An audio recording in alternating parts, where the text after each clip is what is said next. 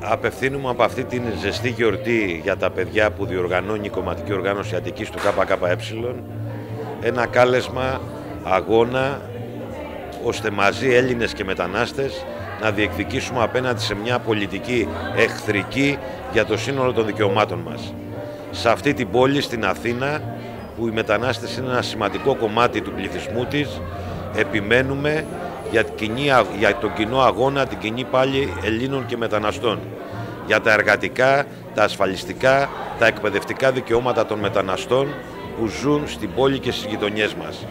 Κόντρα σε μια προσπάθεια να βάλουν την ατζέντα του νόμους και τάξη οι εκπρόσωποι και υποψήφοι δήμαρχοι της Νέας Δημοκρατίας και του Πασόκ,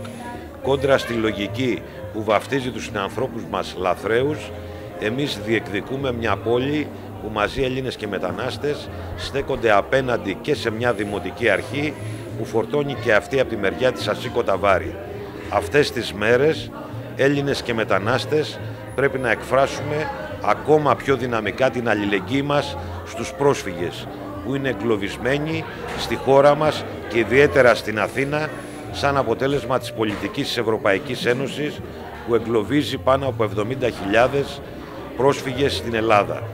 Θεωρούμε απαράδεκτες τις συνθήκες διαβίωσης αυτών των ανθρώπων σε διάφορες λεγόμενες καταλήψεις στο κέντρο της Αθήνας αλλά και στο κέντρο του Ελαιώνα που συνεχίζουν πάνω από δύο χρόνια να μένουν άνθρωποι στα κοντέινερς.